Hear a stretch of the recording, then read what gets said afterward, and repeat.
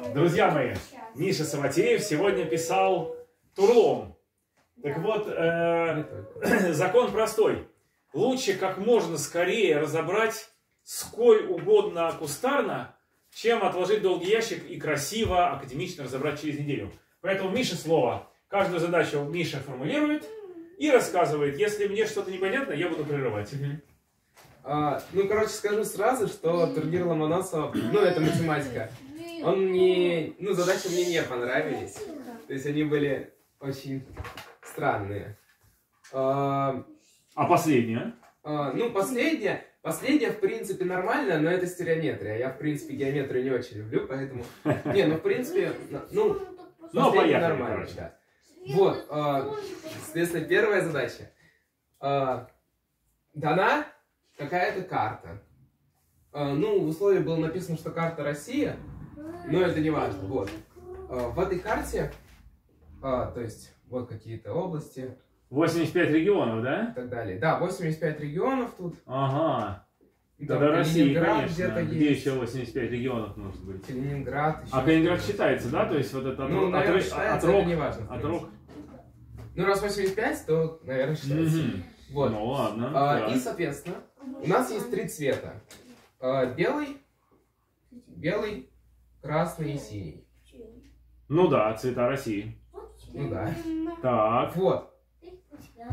И а, нам почему-то нельзя красить соседние страны в белый и красный цвета. Точнее, страны, у которых на границе есть какая-то общая точка, а, нельзя красить в белый и красный цвета. Точка или кусок почему. границы? Линейный или Ну, Насколько я понял, объект? точечный. Даже точечный. То есть вроде точечный. за- Запрет такой. Ага, так. Вот. А, будет смешно, если я по невнимательности говорю. Ну, ну ладно. Вот. А, ну, точечный, да. Так. Вот. Соответственно, нельзя, чтобы была граница. Возможно, точка белый и красный. Кто-то не любил Спартак очень сильно. Нет, ну да. Ну Видишь ладно, как? я объясняю себе, что красно-белый можно. Ну, нельзя, но неважно. Белый, красный нельзя, про красно-белый ничего не говорим. Вот. Так, да. А, ну и, соответственно, доказать, что количество вот таких вот разбиений у нас будет нечетно. Доказать, что количество правильных раскрасок будет ничего. Вот. Ну, соответственно, как мы это делаем? У нас есть два варианта. А, Когда есть хотя бы одна сторона красного цвета и хотя бы одна сторона белого цвета, либо если какого-то цвета из этих нету на карте. А, Вот. так. А, Допустим, что цвета нету. А, Тут снова два варианта. Первый вариант это что у нас только один цвет. То есть синий, красный или белый. Их три, поэтому это три варианта. Так. Вот. А нечетности уже запахло. Да. А, Второй вариант, это, соответственно, когда у нас два цвета, ну, три быть не может, потому что будет и красный, и белый.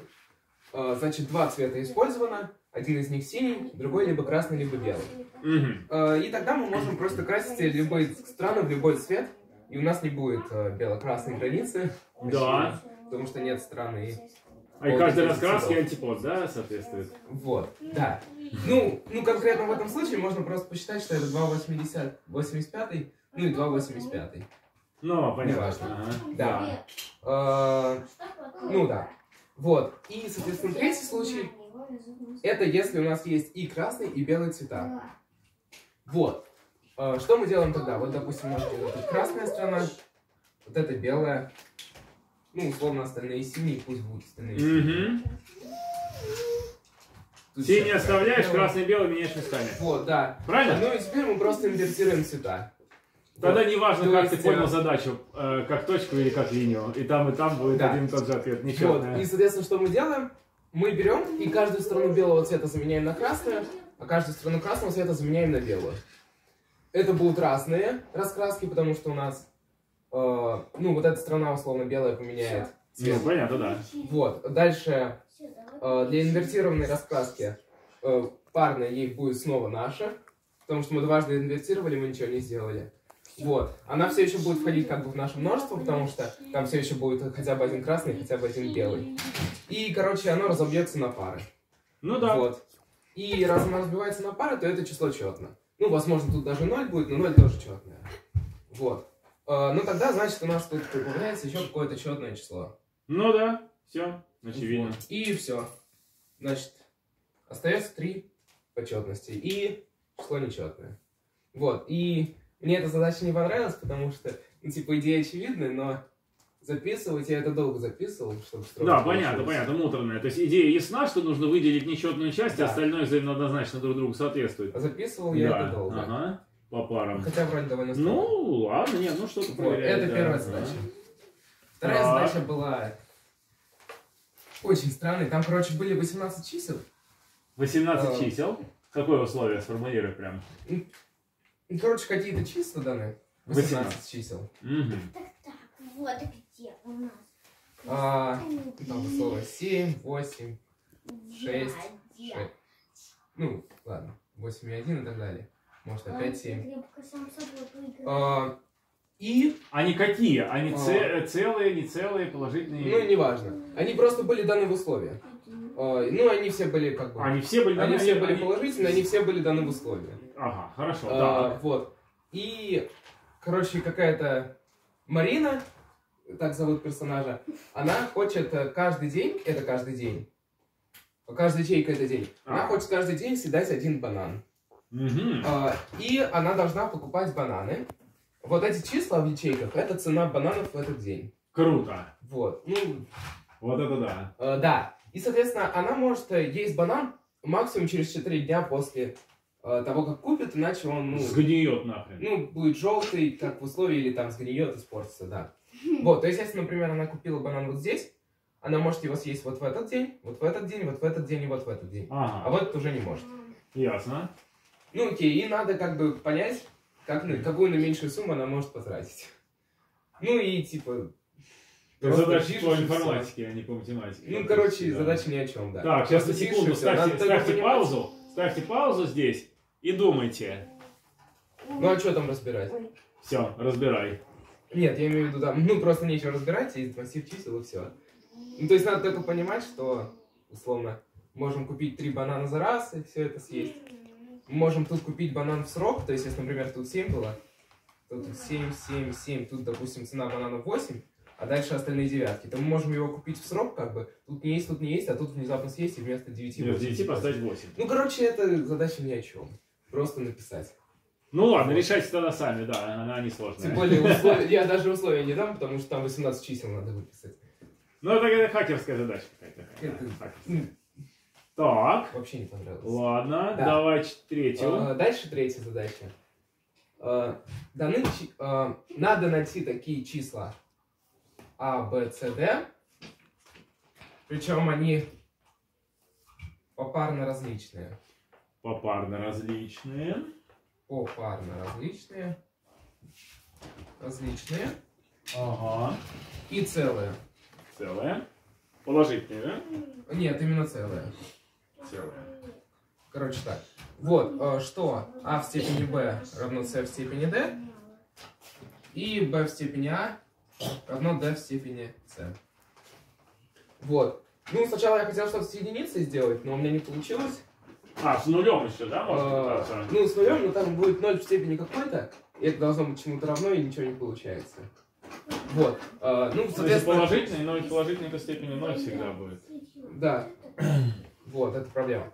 Ну, короче, потом есть такая пара А. 2 в степени 4 равно 4 в степени 2. Ну, это понятно. Ну да, я понимаю, должна, должна быть Вот. какая-то крутилка вокруг степеней двойки, на А, самом деле. да. И еще, типа, тут написано, что они целые. Но раз они целые, они натуральные, то надо использовать то, что они целые, взять отрицательные. А, Ну и мы просто замечаем, что если мы возьмем минус 2 в степени 4 равно минус 4 в степени 2, то как бы это то же самое, что тут написано. Если мы их развернем, у нас получится 4 в степени минус 2 равно а, 2 в степени минус 4. Ну, как бы да. о, И все. прикольно. Так, 4 в степени минус 2 равно 2 в степени Это минус 1 делить на 16, 4. это 1 делить на 16. Это Так, 16, минус 16. 2 в четвертый. Ой, Вот. какая прелесть. Поэтому у нас просто минус 2, 4, минус 4. Прекрасно. Ну, да. то есть она простая задача, но в принципе Ну, она это прикольно, вот я Ну, такие да, люблю. да. довольно прикольная. Это я такие люблю. Так, ну и, собственно, очень вишенка на торте сейчас будет. Вот. э, Задача номер Если 4. можно называть геому вишенкой на торте, Стереому. тогда да. Нет, Тем более нет, стерео. Нет, он не стреляет. Есть, да, еще место, да, галочка? Есть, ага. Оператора зовут Галина Алексеевна Савватеева. Я сомневаюсь, что она точно будет откроет. Но придет. Вырежьте эту часть, пожалуйста. Она художник. Я музыкант. Э, Давай. Вот, короче. э, Задача из триометрии дал, э, дана сфера. Мгм. Вот. Футбольный мяч. Ну, не футбольный мяч. Футбольный мяч это не сфера. Вот, дана сфера. И там два пункта, ну, в первом пункте в него вписан Мгм. сфера. Ну, не вписан, точнее, а он где-то внутри сферы находится. Он находится внутри сферы. Да. Э, Что мы должны сделать? Мы проводим через все ребра прямые. Они где-то пересекают нашу сферу. Соответственно, у нас, ну, очень понятный чертеж получился. Ну, представьте себе, это можно представить, да? Да, короче, через- мы провели через все ребра этого куба прямые, они где-то пересекли сферу. Вот. Раз, два, три, Очевидно, четыре, 12 пять, шесть, семь, восемь, двенадцать прямых, Вот, значит, у э, нас 24 24 отрезка. отрезка. Мгм. Э, Вопрос, можно ли разделить их так, чтобы... Можно ли раскрасить их два цвета так, чтобы э, сумма условно красных отрезков равнялась сумме синих отрезков? Ну или белых отрезков. Вот. Это опять про ЦСКА. Тот, кто сочинял, любил. ЦСКА. Явно. Потому что условия красные и синие. нас сейчас все подписчики идут.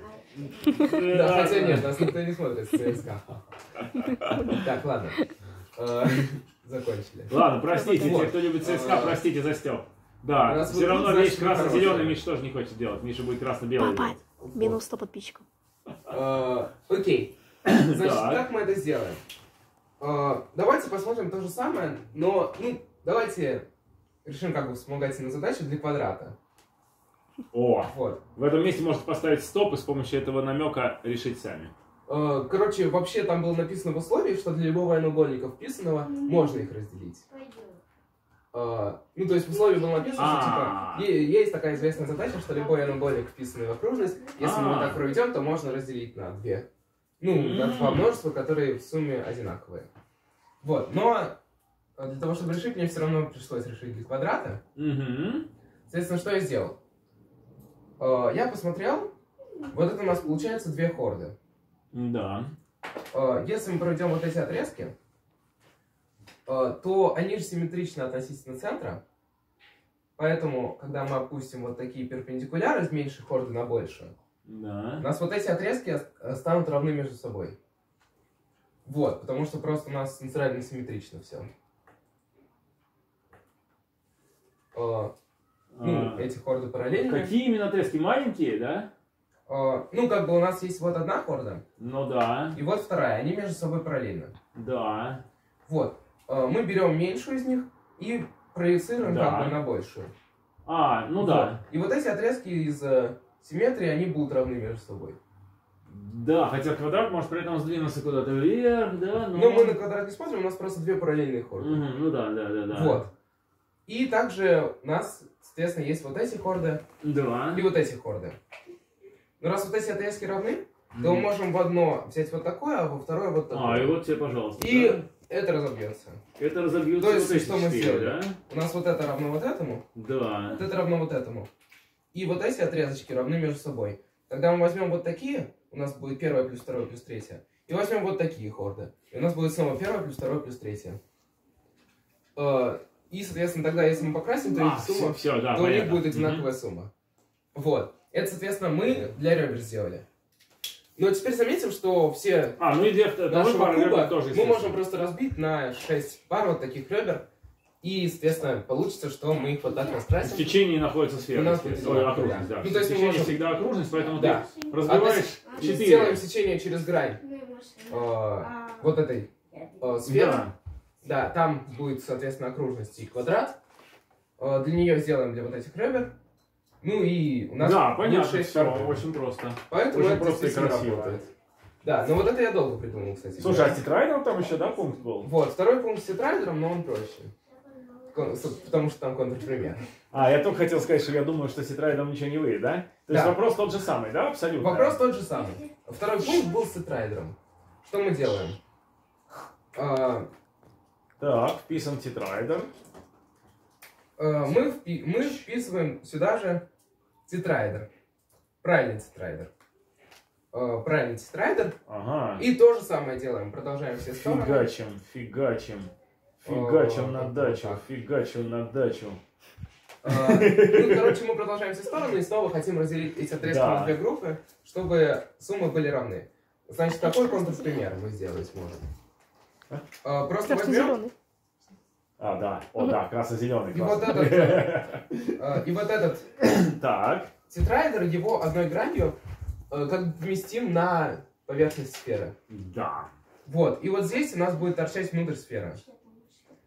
Э, И дальше заметим, что у нас будут вот такие три отрезка длинные, А остальных а просто будет. остальные нули. Остальные нули. Вот, и вот эти отрезки будут равны между собой.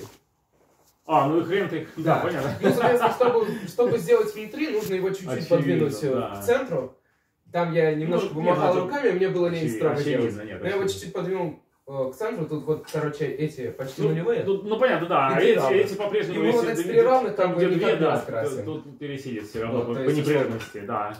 Какие-то из них Отлично. вам открасим один цвет, и останется вот этот, Отличное задание. который- Вот. Мишенька, молодчина! Молодец, спасибо тебе огромное. Галя, спасибо за съемку. Надеюсь, было пожалуйста. понятно.